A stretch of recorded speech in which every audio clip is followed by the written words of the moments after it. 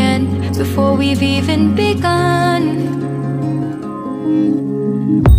Should I work against the flow?